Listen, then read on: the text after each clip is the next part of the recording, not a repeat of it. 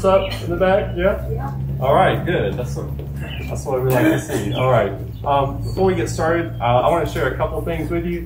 Thanks for coming out um, today, and I just want to share that I'm going to be sending out an email for those of you that have email every Friday just sort of saying, here's what's coming up this weekend. Um, our permission to do this outdoors is sort of uh, on a, it's more like an ongoing conversation. And so uh, I just want to make sure that you know that we are going to have it uh, this Sunday, uh, this coming Sunday, or, or whenever that is.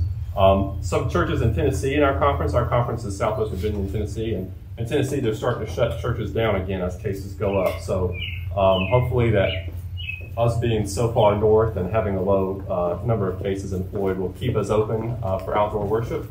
But I just want to let you know I'll be sending out information via email, and if that happens, we'll just move to online. So, um, also, I'll share a couple announcements with you. Um, if you're interested in being an offering teller, contact Misty. All you have to do is uh, count the money with some other folks after the service, and we've got gloves for you to wear and everything like that. But we need some volunteers to help with that, so just let Misty know if you're willing to do that.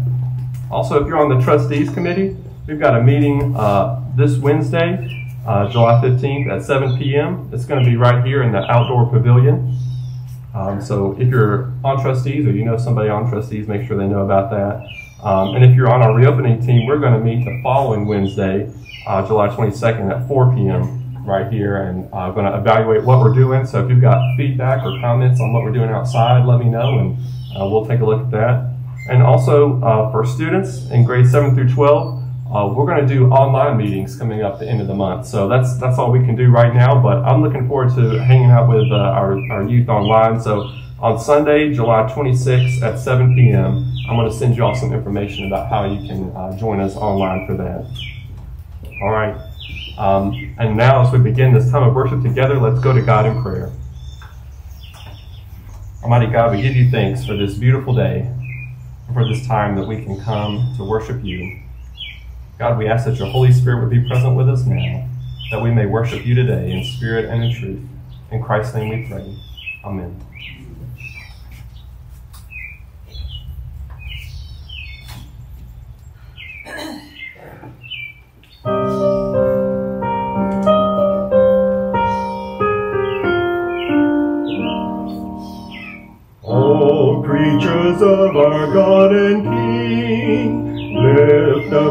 Voice and with a sing. Oh, praise ye, hallelujah. Oh, brother sun with golden beam. Oh, sister moon with silver gleam. Oh, praise ye, oh, praise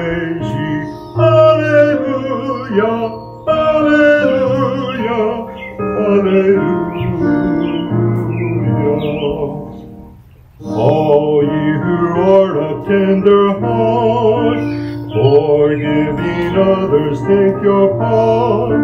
Oh, praise ye, hallelujah, ye who long pain and sorrow bear.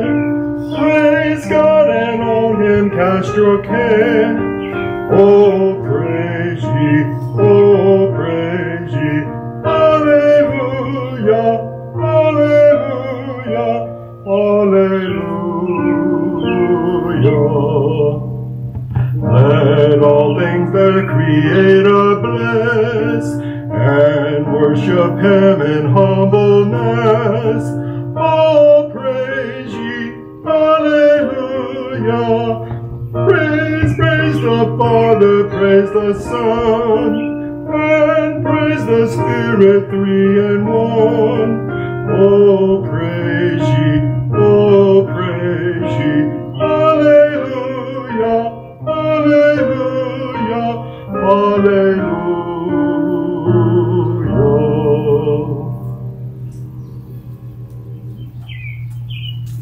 y'all. This is one of the most musically talented churches I've ever been a part of.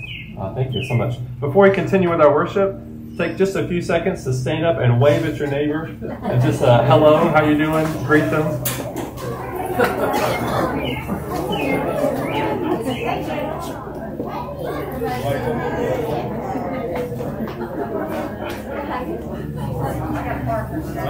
All right, thank you all so much.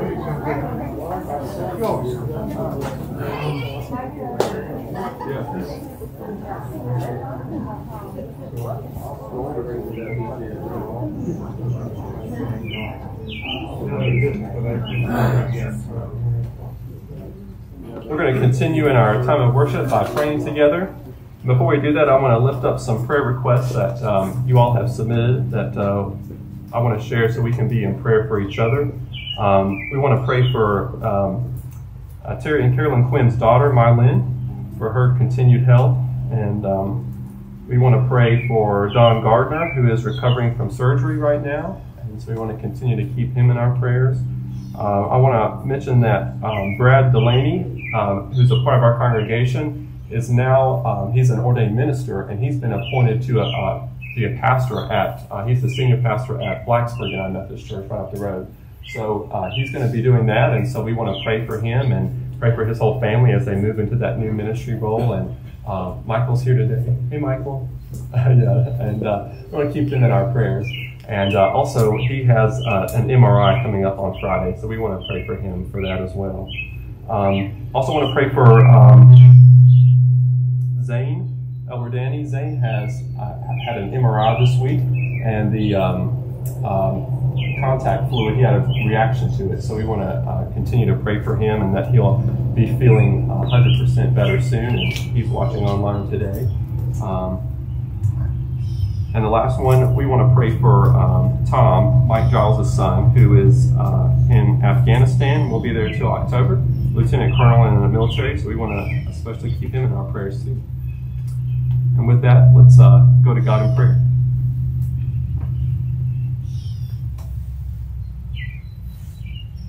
Almighty God, we have so much to be thankful for. As we come together in worship, I give you thanks for your grace that follows us wherever we go, for your mercy that is always there for us when we need it.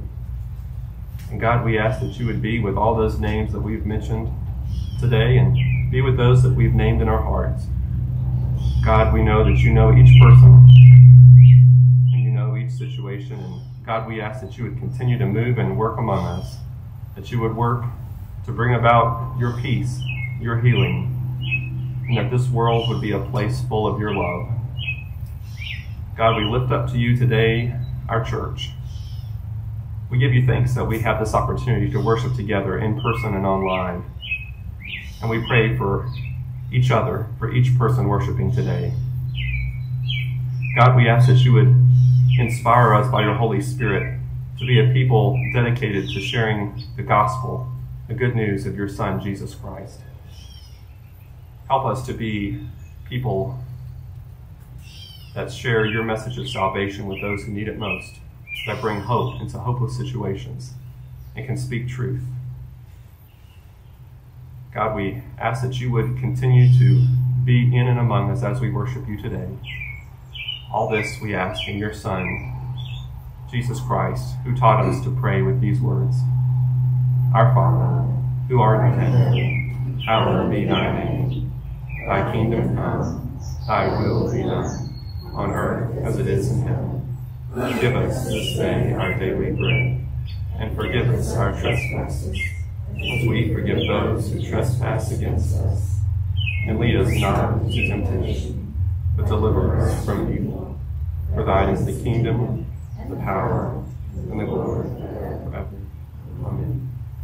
As Misty comes to provide our offertory today, I want to remind you that to give your offering, there's a couple places around you can drop off your offering, or we still have online giving and all those are options. Cindy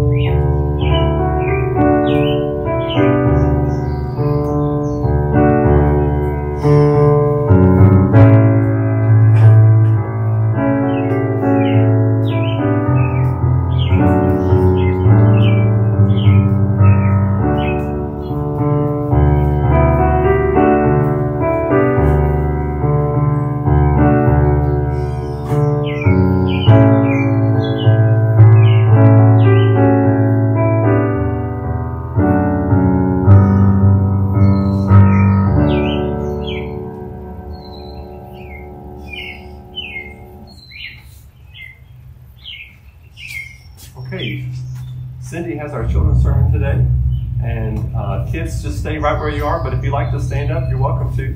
Um,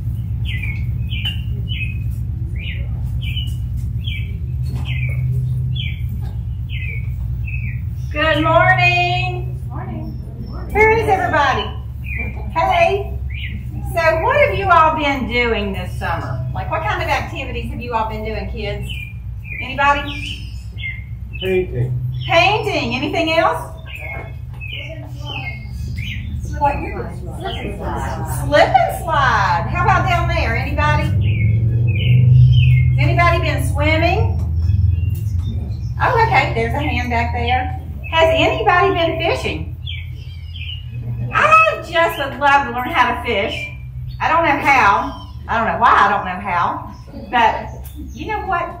Jesus says, and Pastor Timothy last week said, we should be fishers of men. In Matthew chapter 4, verses 18 through 20, it says, As Jesus was walking by Lake Galilee, he saw two brothers, Simon and his brother Andrew. They were throwing a net into the lake because they were fishermen. Jesus said, Come and follow me. I will make you fish for people. Fish for people? What in the world? So Simon and Andrew immediately left their nets and followed him. So they left what they were doing and followed Jesus because they realized that Jesus had a really important job for them. So today I have brought a fisherman with me. Come here, fisherman. And by the way, I've been married to this fisherman for 34 years today. So,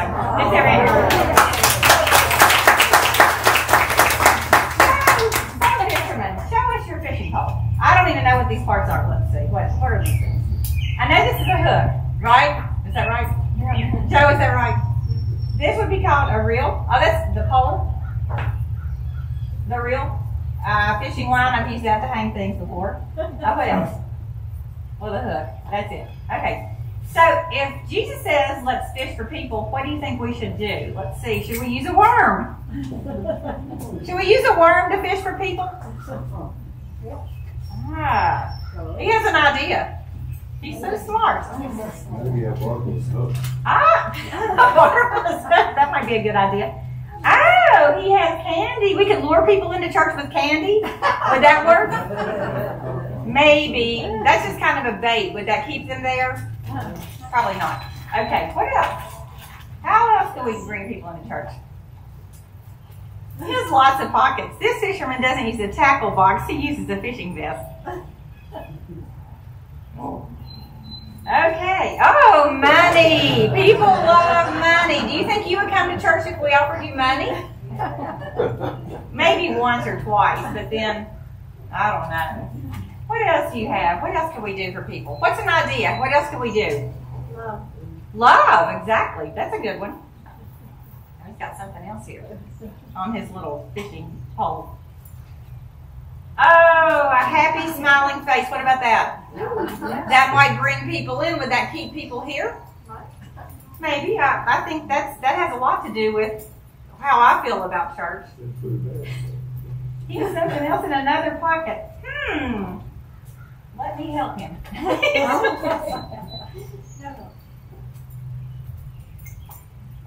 oh, he has an idea. Yay, what is your idea? That's great. he ran out of pockets. oh, he has something really good. Oh, the cross. What would we say about the cross? If we tell people that Jesus died on the cross for them, and that because Jesus died on the cross, they can go to heaven and live forever, do you think that would keep people coming back to church time after time? I think we could be fishers of men, and I think the cross would do that. I think all those other, all those other things will bring people in, but this is exactly what Jesus wants us to do, and that's why He wants us to be fishers of men. So when you think what you can do, your job is to be a fisher of people and bring people into the church. Let us pray. Our Heavenly Father, thank you so much for all that you've given us, for all the blessings that we have. And thank you for the cross that you died on so we can have life eternal. In your name we pray. Amen.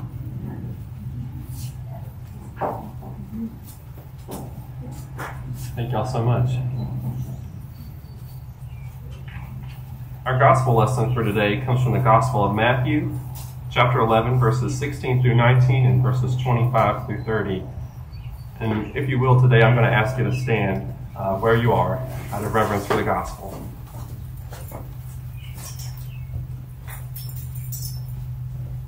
But to what will I compare this generation?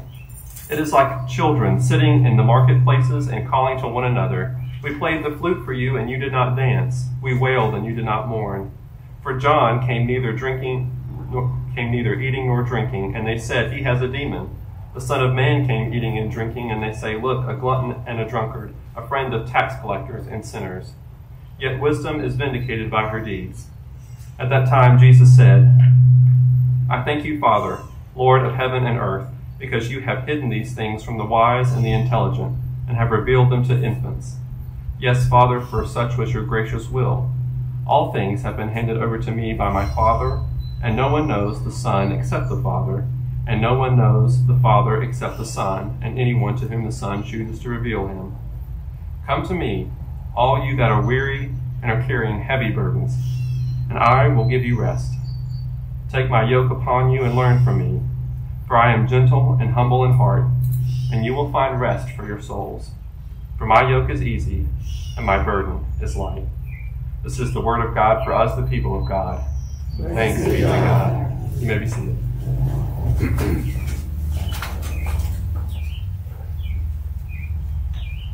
Join with me in prayer. God, may the words of my mouth and the meditations of all our hearts be pleasing and acceptable in your sight. For you, O Lord, our strength and our Redeemer. Amen. Well, I was really looking forward to this summer. Um, in previous years, my summers have always been packed, packed to the brim. Uh, when I was in college, I always worked at camp. Great experience, loved it, but summer goes by like this. I mean, it's just over before you know it. Staying busy first week, before you blink, and it's the last week. Then when I went to seminary, um, Duke wanted us to get as much ministry experience as possible. So as soon as classes ended, they uh, signed us to churches, and we went off to work full time in churches during the summer to get full time ministry experience in between. And I thought, okay, this year is going to be a time when I can actually slow down when summer gets here. I can slow down. I might even take a week off. Didn't happen. Um, and that's okay. And believe it or not, this is actually restful for me. It's actually more work to put together an only online service than to do an in-person service that's streamed online, believe it or not. Uh, so I'm, I'm enjoying this and enjoying a little bit of rest from, from the work. Um, but there's the kind of rest that we take when we rest away from um, the work that we do, the rest that we find when we uh, rest after a hard day's work or something like that. But there's a different kind of rest. And I want to talk about a different kind of rest today. It's the kind of rest we have when we feel complete peace, purpose, and wholeness. This is a beautiful passage, and you've probably heard it before. Come to me, all you who are weary and heavy laden, I'll give you rest. Take my yoke upon you, learn from me. I'm gentle and humble, humble in heart. You will find rest for your souls. My yoke is easy and my burden is light. Beautiful passage, and often it's read at funerals. Very meaningful, and um, and that's great. But Jesus didn't mean for us to only find rest and, and peace when we die. Jesus meant for us to find rest and peace right now, right here with God. And so, what does the rest of God look like? Well, first, I think we can rest in God's forgiveness. Last week, we talked about the woman at the well, and we talked about how God offers forgiveness to everyone. And then, um, I just want to let you know if, if you sort of, if that was your first time when you put your faith in Christ, it's not going to be uh, a perfect life from here on out. And if you've been a Christian for a long time or any amount of time, you know that uh, perfection is hard to achieve. And even after we put our faith in Christ, sometimes we fail and sometimes we sin. But there's a rest that we have when we rest in God and we trust in God's forgiveness for us resting in salvation. Not that we sin just to sin and know that we're covered. Not salvation isn't like a, a get out of hell free card or anything like that. But it is something that we can rest in, that we can find uh, solitude in, that we can find peace about. So we rest in forgiveness. Jesus comes and and Matthew points out that people uh, talked about Jesus because he was friends with tax collectors and sinners. And that's a comfort for us because we know our own sin. And if Jesus cared enough to hang about hang around with sinners when he was here doing his earthly ministry, he cares enough about you to offer salvation and forgiveness to you again and again. Well, the second thing I think we can rest in is we can find rest in the confidence of God's presence with us. The, God's presence with us did not um, end when Jesus ascended into heaven, but rather the Holy Spirit is with us now, working in and among us and giving us presence. Um, some preachers will, um, maybe uh, some TV preachers, will tell you that um, once you put your faith in Christ, your life's going to be perfect. And you're not going to have any problems. You're not going to have any stressful situations. Everything is going to go right for you. And I'm just here to tell you that is not true. Every day is not a Friday. Some days it's Monday. And some days you have a difficult day. And even though we put our faith in Christ, some days we go through uh, pain and heartache. And people we care about get sick. And those that we love pass away. Life is not always going to be um, the way we want it to be. But that's not what God promised us. Jesus is uh, teaching. And here in um, chapter 11, Matthew tells us that Jesus has just finished teaching. And in, in Matthew, everything is building up to the crucifixion to the death and resurrection of Christ. Everything is moving towards it. Everything is foreshadowing that. So we can't think about Jesus being on the Temple Mount, being on the uh, Mount of Teaching, without also thinking about Jesus being on Mount Calvary and moving towards his suffering and his death. Jesus had a difficult life. He went through heartache and pain, but he had God's presence. Right? He was God's presence for us and he could rest in God. And I think the more I've reflected on this passage and meditated on what it means, I think that means that Jesus could rest because he was fulfilling his purpose, because he was doing what the Father had called him to do, because he was living into who he was. He was here to teach us and to show us and to make a way for us to be with God. That's a rest that Jesus could find in fulfilling his purpose we too have purposes that God has called us to do. It's something that we practice. Have you ever heard this phrase, practice our faith? Um, it's something that we have to work at. Um, I love this image that Jesus gives here. Uh, we played the flute for you and you did not dance. He's comparing his own ministry to a flute player and people not responding to it by not joining in in the dance. Um, I'm not much of a dancer myself, but uh, I watch America's Got Talent. Anybody watch America's Got Talent? Yeah. You watch some of the dance groups. I have no idea how they get that many people to do the same thing at the same time. I, I have no idea how that works. I could never be a part of anything like that. Uh, can never do can never do that. And how do they do it? It takes practice. The faith is something that we work at. We work at being in God's presence. And how do we practice being and resting in God's presence? We pray. We spend that time with God. We come together and we worship. And we can rest in the fact that even when we're bad at it, we're practicing it and we're working at it. And we still have God's presence with us. Here's the final thing that I want you to take rest in today. Take rest in the simple truth that God loves you. There's a need that we all have a need to be loved. Um, I grew up watching Mr. Rogers' Neighborhood.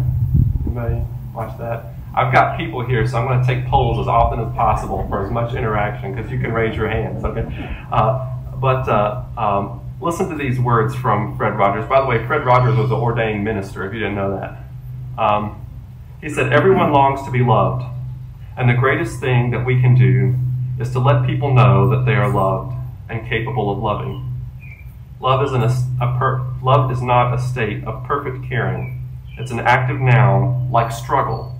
To love someone is to strive to accept that that person exactly the way he or she is right here and now. And when I say, when I say to you, uh, I'm not sure what this means. Anyway, uh, let me skip. It's that deep part of you that allows you to stand for those things without which humankind cannot survive. Love that conquers hate, peace that rises triumphant over war, and justice that proves more powerful than greed. His point here is that everyone needs love, that everyone desires to be loved, and love is a great gift. The greatest gift of love that the world has ever seen is the giving of Jesus, the giving of God's gift of His only Son. This is what we all need to be loved and to know that we are loved by God. And no matter what we go through in life, no matter what's going on in our world death, disease, sickness, despair, joblessness, poverty we all can rest in the fact that we are loved by God. St. Augustine said this prayer Our hearts are restless until they rest in you. Have you heard that before? One of my favorite quotes Our hearts are restless until they rest in you. I believe that each of us have a desire for God in our hearts. That God is what makes us whole, that God is what completes us. And without God, we are left empty and void. To achieve rest, to achieve that kind of peaceful understanding, it can only be done with God in a relationship with His Son, Jesus Christ. This week, I hope you'll take some time to rest.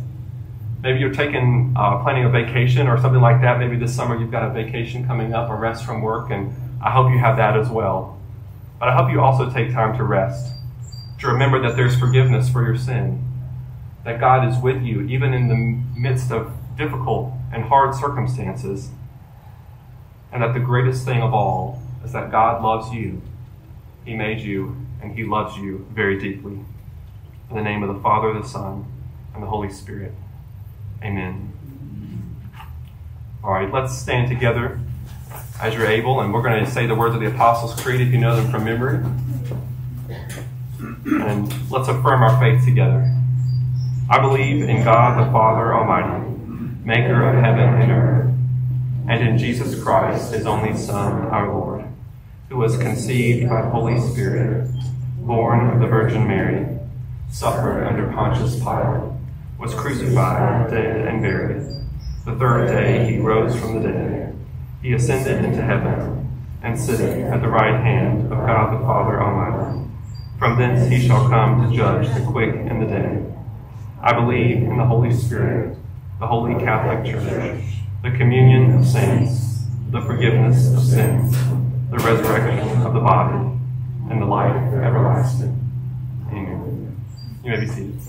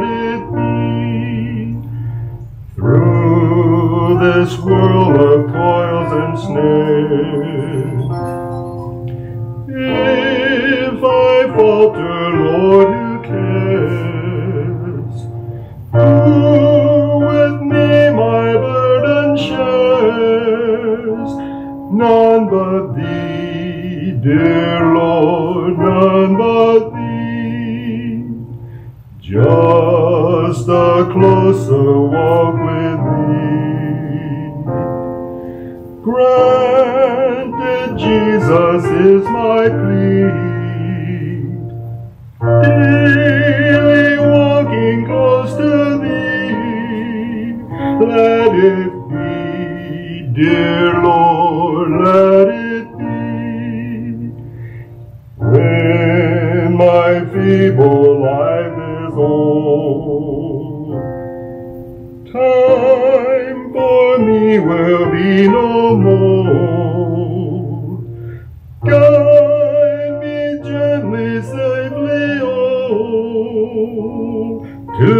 Thy shore, dear Lord, to thy shore. Just a closer walk with thee.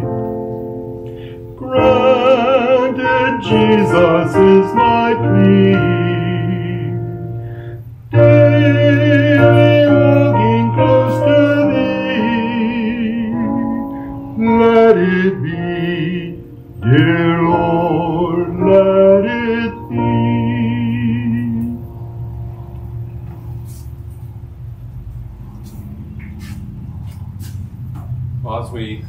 Service, I want to say thank you for being here today and thank you for coming out and worshiping. This helps me rest in God's calling for me to, to, to worship with you all and to, to preach. So um, thank you so much for coming out today. I hope you've been able to rest in this service of worship and the fact that um, God loves you. And now, if you will, stand and receive this benediction. The Lord bless you and keep you. The Lord make his face shine upon you and give you peace. Amen.